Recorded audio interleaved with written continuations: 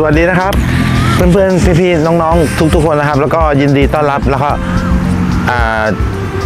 เจอกับผมอีกเช่นเคยกับเอกสายหมุนนะครับ ก็ทูตติดอ่างนี่อมน้ำแข็งอยู่โอเค ก็สำหรับในคลิปวันนี้นะครับ ผมมีตัวก็บิน 500 นะครับ มาบินให้เพื่อนๆได้ดูอีกอีกรอบหนึ่งนะฮะพร้อมกับวิทยุตัว T6J นะครับ วันนั้นผมบินที่สนามโกโก้มันไม่ค่อยถนัดเท่าไหร่นะฮะก็เลยวันนี้เดี๋ยวมารีวิวนะครับ มาบินให้ใครที่สนใจอยากได้ลำนี้นะครับ ก็บิน 500 นะฮะก็แต่ผมจะบินแค่เดินทางฮอปแล้วก็ส่วนเรื่องของราคา อันนี้เป็นฮอมือสองนะแต่สภาพนี้บอกเลยว่าค่อนข้างที่จะกริบมากนะครับนะครับ พร้อมกับวิทยุ T6J ตัวนี้ ผมบายไปเรียบร้อยแล้วนะฮะ อ่ามีแบตพร้อมนะครับ โอเค เดี๋ยวมาดูชุดไฟนะฮะว่ามีชุดไฟอะไรกันบ้างนะครับ แบตเตอรี่มีให้หนึ่งก้อนด้วยเช่นเดียวกันนะครับ แบตเตอรี่ก็จะใช้เป็นของ HRB นะครับ เป็นของมือสองแข็งอยู่นะฮะยังไม่บวมไม่อะไรนะฮะใช้ได้ตัวนี้นะครับ แล้วก็มี เดี๋ยวส่วนตัวฮอเดี๋ยวผมจะแกะให้เพื่อนๆได้ดูนะครับว่ามีชุดไฟอะไรบ้างนะฮะ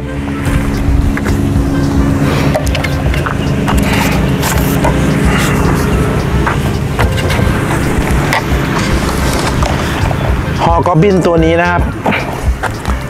จะมีคานูปี้ที่มีตัวล็อกอยู่สองข้างนะครับ แล้วก็ต้องหมุนออกแบบนี้นะฮะแล้วก็อีกข้างหนึ่งนะครับ แล้วก็หมุนออกแบบนี้นะครับ และสองตัวเนี้ยเราเก็บให้ดีนะครับ อย่าให้หาย แล้วเราก็แหกคานูปีออกแล้วก็ดึงออกมาแบบนี้นะครับนะครับ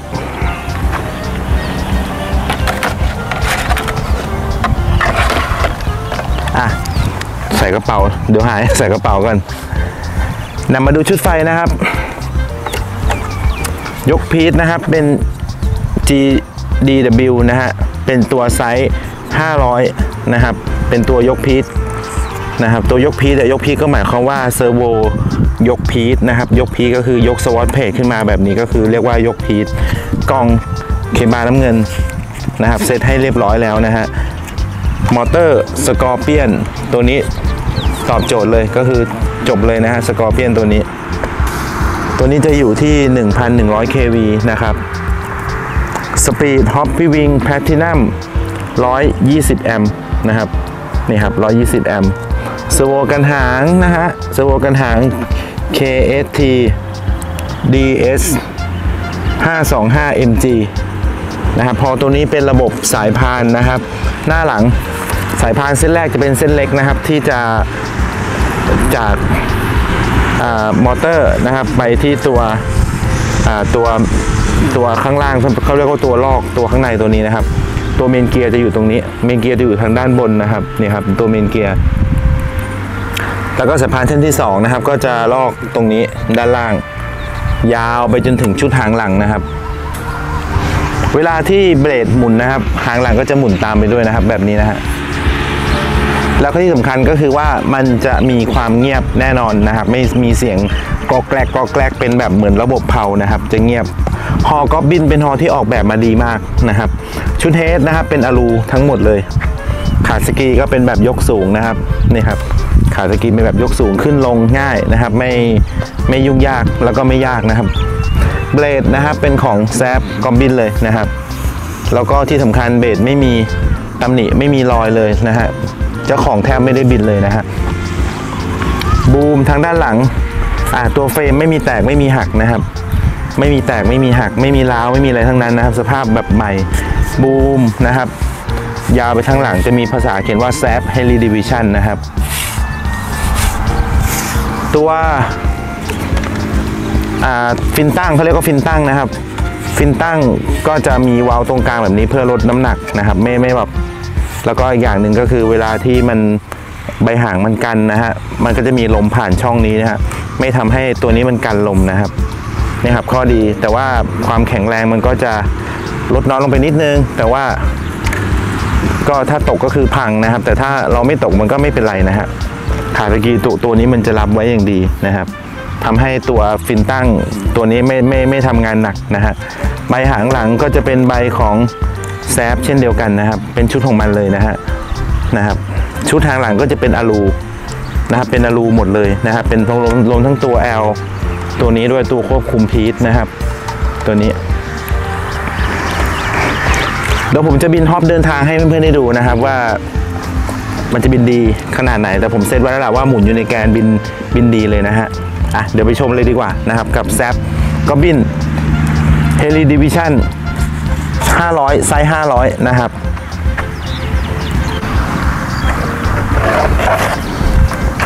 ขั้นตอนแรกนะครับก็เปิดวิทยุนะครับ ปิดวิทยุ แล้วเราก็ตัดโฮนอย่างนี้ ไว้ก่อนเพื่อความปลอดภัยนะครับออโตติคันเร่งลงให้สุดนะครับ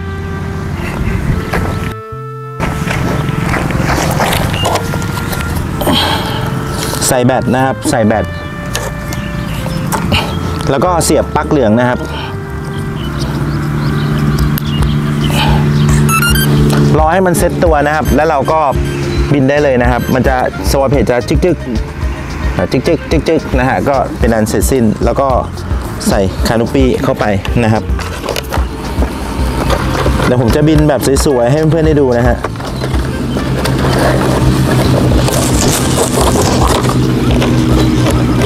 เดี๋ยวเรื่องของราคานะครับ เดี๋ยวเพื่อนๆมาฟังตอนท้ายคลิปนะว่าจะอยู่ที่ราคาเท่าไหร่นะฮะ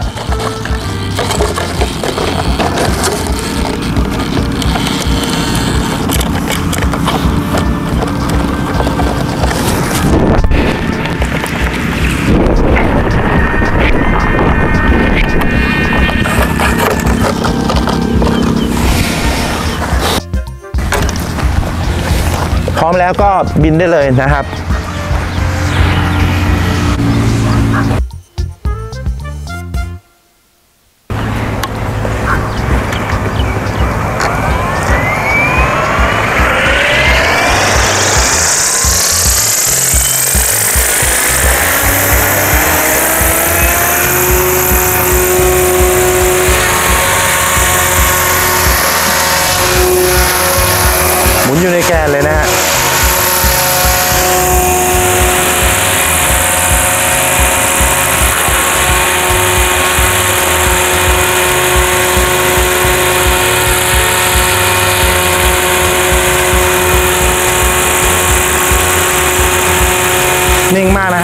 ปล่อยวิวได้เลยนะฮะ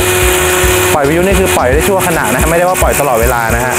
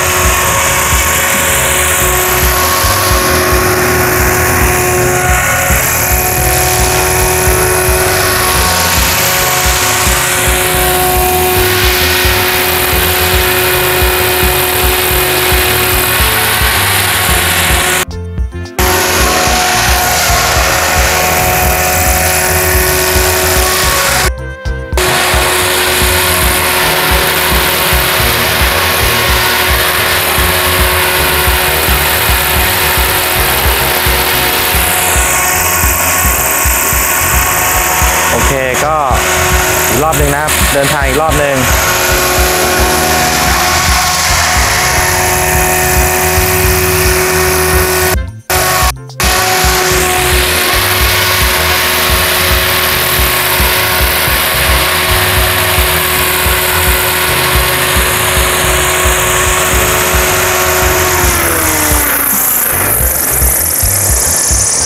เวลาที่เราลงจอดนะครับวิธีการเล่นน่ะก็คือถ้าเราลงจอดแบบเราตัดโฮมปุ๊บเราก็เลี้ยงเลี้ยงลงเนี่ยจะทำให้การ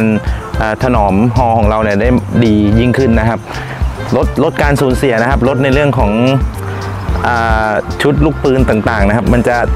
โอเคมากๆเลยนะครับ ถ้าเราตัดโหนลงเพื่อนๆต้องฝึกแบบนี้นะครับครับก็บินเทสบินให้ดูแล้วเรียบร้อยแล้วนะครับ ก็คือบินได้ปกตินะครับ แต่ถ้าเพื่อนๆจะเอาไป 3D ต่อก็ต้องไปต่อยอดกันเองนะครับ ผมบินส่งให้ดูก็ประมาณนี้นะฮะผมก็ถ้าบิน 3D หงายท้องได้ไหมมันก็เสียวๆนะครับ เพราะว่ามันไม่ได้เป็นฮอของตัวเองนะฮะอันนี้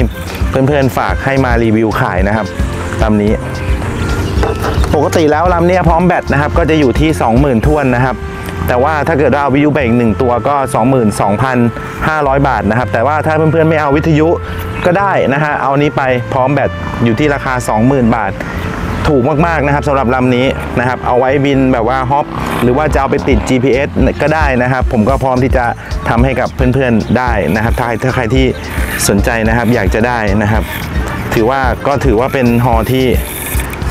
สวยงามนะครับสำหรับกอบบิน 500ลำนี้ แต่ปกติถ้าประกอบใหม่เนี่ยก็โอ้โหรวมประมาณเกือบ 50,000ได้น่าจะ 50,000 กว่าได้เลยนะฮะในตอนนั้นนะฮะแต่ว่าสภาพพอตอนนี้มีอะไรไหมมีนะครับมีอะไรแน่นอนนะครับอะไรถ้าตกพังเสียหายมีอะไรนะครับทั้งเบสทั้งบูมทั้งอะไรมีหมดนะครับ ก็ใครที่สนใจลำนี้ก็ 20,000 ถ้ารวมวิทยุนะครับ 22,500 บาทเอาไปเลยนะฮะ ถ้าเกิดว่าอยู่ในละแวกภาคกลางเนี่ย ผมก็อาจจะขับรถไปส่งให้เพื่อนๆได้เลยนะครับ ถ้าถ้าใครที่สนใจ ก็วันนี้ ก็ถือว่าอ่ามาทำคอนเทนต์นะครับรีวิวฮอมือสองให้กับเพื่อนๆได้ดูนะครับ และส่วนในคลิปหน้าเนี่ยมีคอนเทนต์อะไรให้ดูอีกนะฮะก็ติดตามรับชม แต่ว่าก็ไม่ผิดหวังแน่นอนในคลิปที่ผ่านมาเนี่ยก็จะเป็นมือใหม่ที่มาฝึกบินนะครับ กับเจ้าตัวทารอด450 Sport นะครับ ก็ยังบินไม่ได้นะครับ เดี๋ยวจะได้เจอกับเขาอีกแน่นอนนะครับ เดี๋ยวจะดูมาดูซิว่าเขาสามารถที่จะบินได้ไหมมาอยู่กับผมแล้วนะครับ ก็สำหรับในคลิปนี้ใครสนใจลำนี้ก็ 22,500 ถ้าไม่เอาวิดีโอก็ 20,000ทวนนะครับ ติดต่อมาได้เลยที่เบอร์โทรทางด้านบนนะครับ0827467670 วันนี้ลาเพื่อนๆไปก่อนฝากกด subscribe กดติดตาม กดไลค์ กดแชร์ กดกระดิ่งแจ้งเตือนเป็นกำลังใจให้ผมด้วยนะครับ แล้วก็เจอกันใหม่ในคลิปหน้า สวัสดีครับ